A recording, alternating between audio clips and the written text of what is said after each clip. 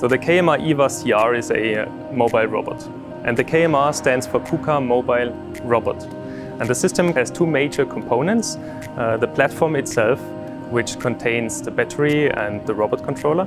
And on top, we have the robot, which is a seven-axis cobot. And CR stands for clean room. And uh, this means that the robot complies with ISO 14644-1.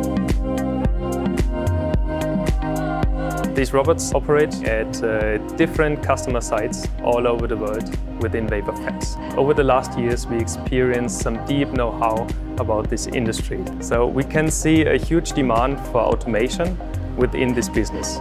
And that's why we decided to uh, develop a wafer handling module that can be added to the KMR iiwa CR. And this wafer handling module enables our system partners but also the end users to easily automate the material workflow inside the wafer fabs. These silicon wafers are extremely expensive and extremely valuable. That's why the wafer handling process itself has to be as sensitive as possible. And uh, for the pick and place motion of the transportation boxes, we use the uh, sensors within the cobot. So the gripper is uh, a patented system from uh, KUKA. It has uh, very low friction to be used in clean room environment.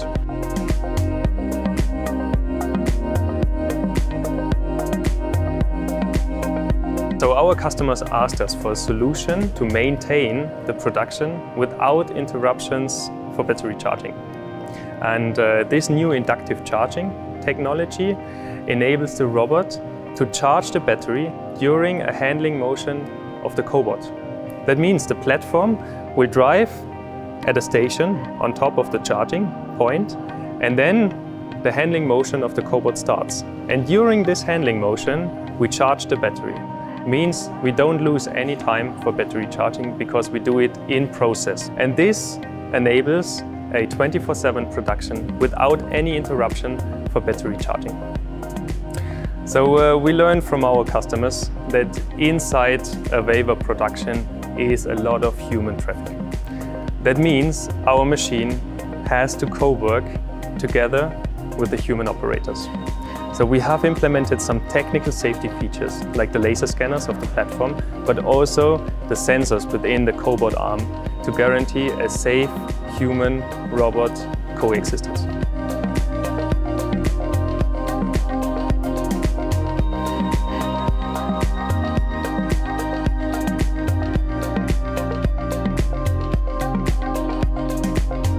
And this is where our system has its advantages. So we have a cleanroom certified robot, we have a sensitive cobot on top, and we have a very precise mobile platform.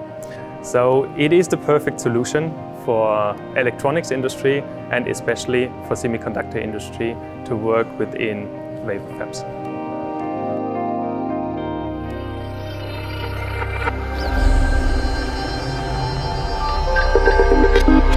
Industrial Intelligence.